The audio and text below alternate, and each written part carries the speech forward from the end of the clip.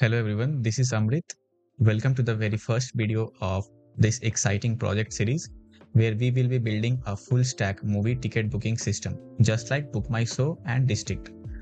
And it, and the special thing is that this app supports real-time seat locking so that two users can't book the same seat at the same time. In this video, I'm going to talk about the tech stack that I'm going to use to build this project. And after that i'm going to show a quick demo of the ui and real-time seat locking okay? So please stay tuned with this video. And if you find this video helpful please like subscribe and share with your friends. Okay? Now let's start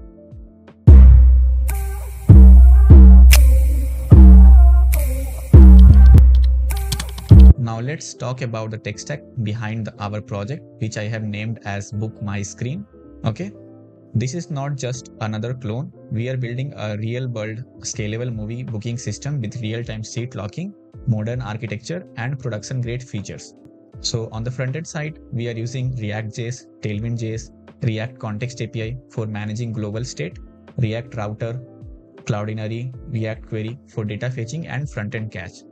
On the backend side, we are using Node.js plus Express.js for to build scalable and modular REST APIs TypeScript to add type safety, improve code quality, and prevent runtime errors.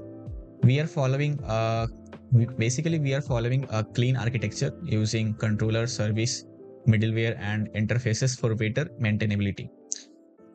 Now for secure user auth, we are using JWT access plus refresh token both and OTP authentications so user can log in via email or mobile number without needing a password okay now the extra features that is Razorpay for payment integration, which I will definitely do, and admin dashboard that is optional.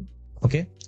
And the most important feature that is seat locking, which is the heart of our project that I that is that is built using socket.io for real-time two-way communication.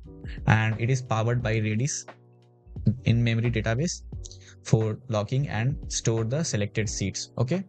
So this is the about our tech stack. Now let's jump into the demo. Okay. This is our homepage. Our design is heavily inspired by book my show's user experience with some ui tech element taken from district for that modern and minimal feel so uh, this is the homepage having a carousel headers and recommended movie section once i click on this movie then you will redirect it to movie details section where you will see all the details of that movie and theater listing here. This will happen according to your real time location. This is my current location and according to that theater listing will happen. Okay. And you can change the date dates as well. So if any, any no show is available, then uh, message will be displayed here. No shows available for selected dates.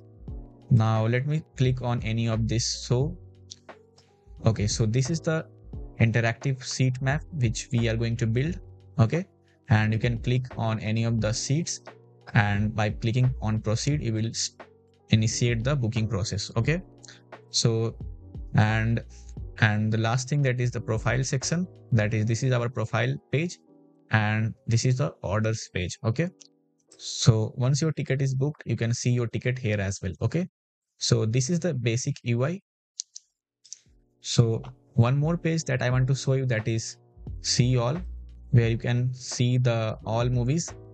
And here filters is present. You can add the filters as well okay so this is the basic UI this is the UI that we are going to build now let me show you the actual thing that is real-time seat locking okay so currently I'm logged in with my account now let's click on F1 movie and select 6:30 a.m. show and I'm going to select here D9 and 10 seat. Okay. Now let's click on proceed. Okay. So a timer is started here. So I have to book that seat within one, one minute. Okay. Now let's open in another incognito window with different account. So here location is fetching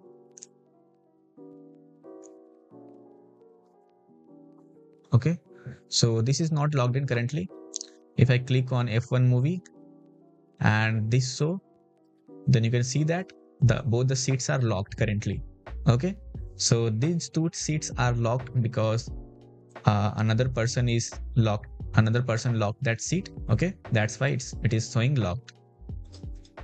Now let's select seat number 9 and 10 for for this user. But i'm not logged in right now with different in my in, in, incognito mode.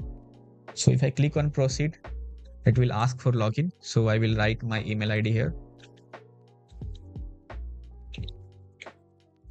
and click on continue. So i will write my otp here. Okay so right now i'm logged in. Now let's click proceed again again. Okay seat 9 and 10 is also logged. Now let's okay now let's change the browser and now let's go to the f1 movie. And so 6:30 a.m. Yeah, you can see that both the seats are locked, but these two seats getting unlocked because timer is expired here. Okay, that's why. So this is all about the seat locking. Now we will build this in our upcoming videos. So please stay tuned with the video and if you find this video helpful, please like, subscribe and share with your friends. So that's all for this video. Thank you.